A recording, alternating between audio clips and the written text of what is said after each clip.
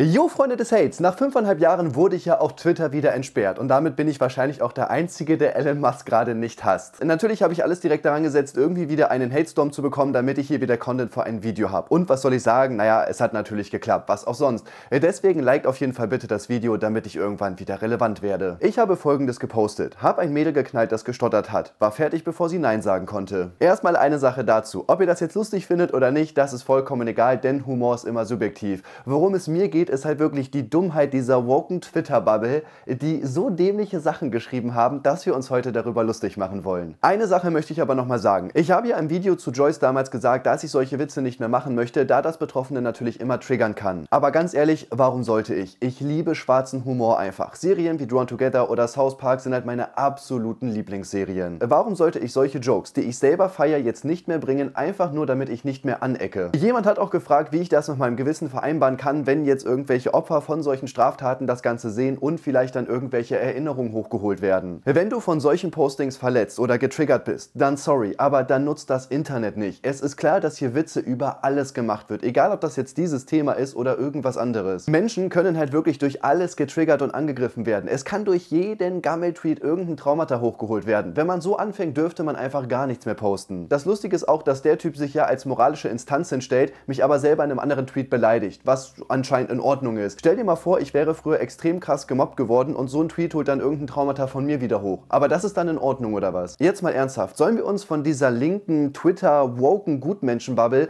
wirklich unterkriegen lassen und nie wieder irgendwelche Jokes posten, weil sie immer versuchen uns zu canceln? Ganz ehrlich, ich sage nein. Wir müssen zusammenhalten und gemeinsam dagegen vorgehen. Deswegen liked jetzt das Video. Übrigens, mit am lustigsten fand ich diese Person hier. Ich lasse das mal so stehen. Bah, okay. Das heißt, der Tweet ging wirklich gar nicht für sie fit. Ja, das ist wirklich ekelhaft. Was für Ricarda dann allerdings wieder ein ganz normaler Kommentar war, war folgendes, was sie danach gepostet hat. Schau dich doch mal im Spiegel an, du eklige deutsche Kartoffel. Wahrscheinlich würdest du es feiern, wenn deine Schwester vergewaltigt wird. Ja, also, das ist halt, was soll ich dazu sagen? Ey. Krass ist übrigens auch, dass ich für einige Leute jetzt wirklich einfach ein Mittäter bin, weil ich das gepostet habe. Erstmal wird in diesem Bild hier gezeigt, dass jeder, der solche Witze macht, ein potenzieller Täter ist. Überlegt euch das mal. Diese Bubble denkt wirklich, dass wenn ich solche Jokes mache, die Wahrscheinlichkeit sehr hoch ist, dass ich diese Straftat selber irgendwann mal verübe. Digga, ey, was soll ich euch sagen? Auch davon abgesehen sind diese Jokes Jokes anscheinend eine Straftat. Denn mehrere Leute haben mich darauf hingewiesen, dass es halt der Fall ist. Es geht um Paragraph 131, was die Gewaltverherrlichung darstellt. Das bedeutet, dass man grausame und unmenschliche Gewalttaten gegen Menschen verherrlicht oder verharmlost schildert. Die denken wirklich, dass so ein Joke wirklich eine Straftat ist und man das nicht posten darf. Und da, das ist wirklich so deren Meinung. Die denken das wirklich. Überleg mal, die sind unter uns. Vielleicht habt ihr die schon mal beim Einkaufen getroffen. Auch mega lächerlich ist diese Person hier. Freunde, ich mag KuchenTV. Ich blog. Stell dir mal vor, du hast irgendwelche Freunde. Ich weiß, richtig unrealistisch, wenn man KuchenTV guckt, aber nur mal die Vorstellung. Ihr habt euer halbes Leben miteinander verbracht. Ihr habt super viele Erinnerungen. Ihr helft euch gegenseitig, wenn ihr irgendwas braucht. Und dann sagst du vor ihr so, ey, ich feier Kuchen TV und sie so, verpiss dich raus hier. Ich habe mich dann auch darüber lustig gemacht und ihre Antwort war folgende. Wer seine Freundin schlägt, bla bla bla, dummes Gelaber, was auch nicht stimmt, und meint, ich wäre armselig, weil ich das nicht unterstütze, der benötigt Therapie.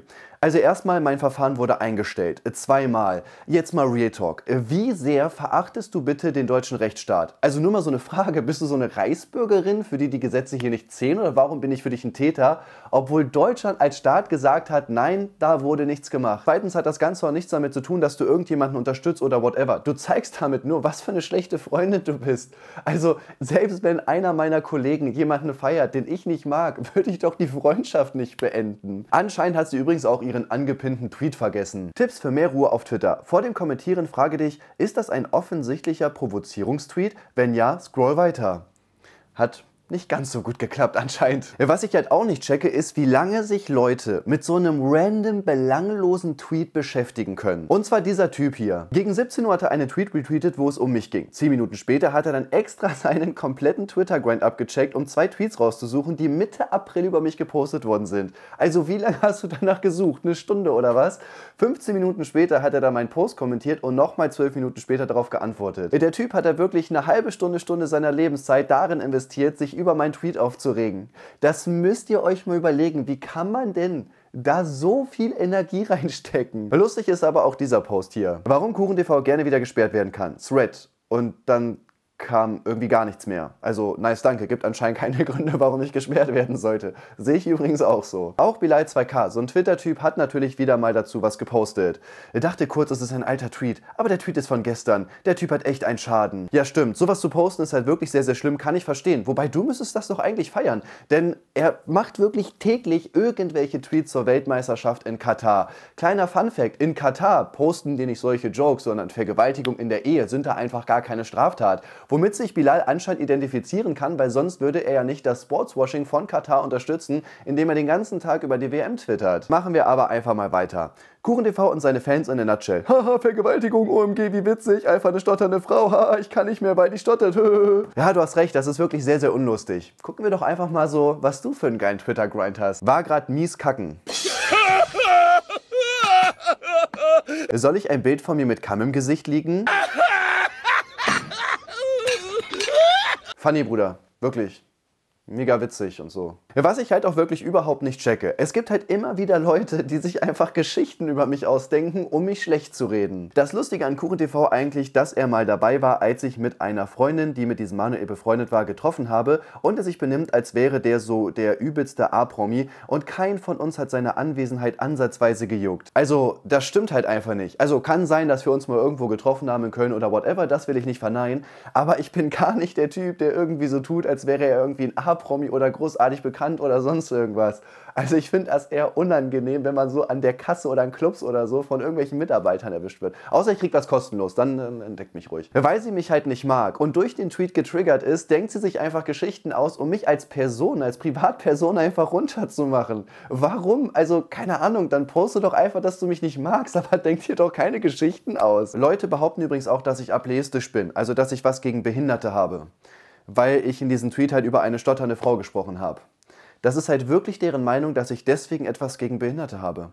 Ey Jungs, mal wirklich, wo sind wir falsch abgebogen, Alter, als Menschen? Auch die Freundin von Guffy konnte natürlich nicht ihren Mund halten und hat gepostet, kurz kotzen gehen, Reminder, wieso ihr Kuchen nicht supporten solltet. Das Lustige ist, dass Guffy halt mindestens einen genauso schlimmen Humor hat wie ich. Wenn die mal sehen würde, über was wir in unserer WhatsApp-Gruppe so lachen, ho, da will ich dann aber nicht beim Streit dabei sein. Von Guffy lässt sie sich aber seit Jahren und lutscht seinen aber wenn ich sowas poste, dann heißt es, äh, Digga, den solltet ihr auf keinen Fall supporten. Es geht hier offensichtlich nicht darum, was gesagt wird, weil sonst wäre sie nicht mit Guffy zusammen, sondern wer das tut. Sie mag mich nicht. Aus welchen Gründen noch immer, habt ihr noch nie privat getroffen. Aber trotzdem bin ich natürlich der schlimmste Mensch der Welt. Das ist halt einfach absolut dämlich. Zeugt übrigens auch für keine so hohe Intelligenz, aber in Ordnung. Was ich auch immer wieder feiere, sind solche Kommentare hier. Irgendwie muss er ja relevant bleiben. Und so bleibt er im Gespräch.